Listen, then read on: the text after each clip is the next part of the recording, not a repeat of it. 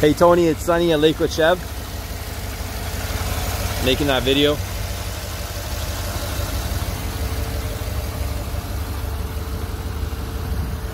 So that's the engine. Work my way from the driver's side.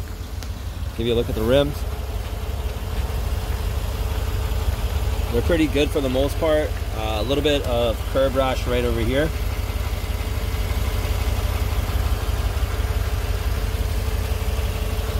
And we'll have a look underneath here as well too. And the wheel wells.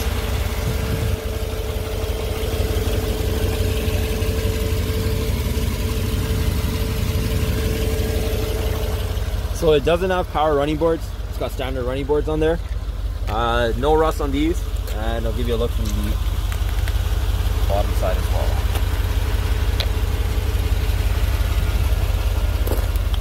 And then for the interior, interior is in good condition. Leather is not ripped, no smoke smells. Full load, of course. It's got the Husky liner mats.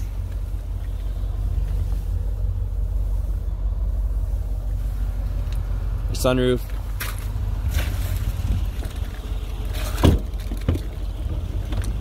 And into the back.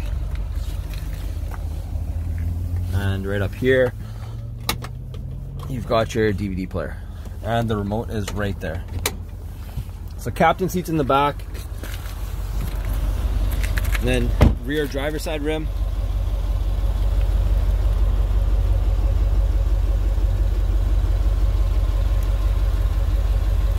And just try to give you the best look I can from the back side over here.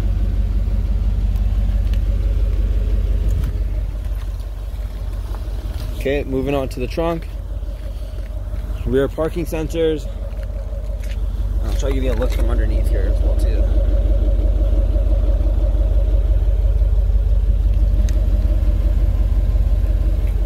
Now we're coming around to the passenger rear rim.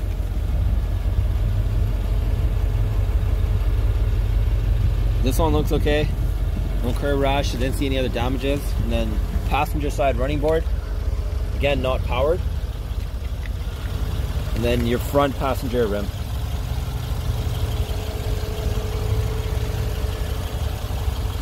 And we'll have a look back here as well.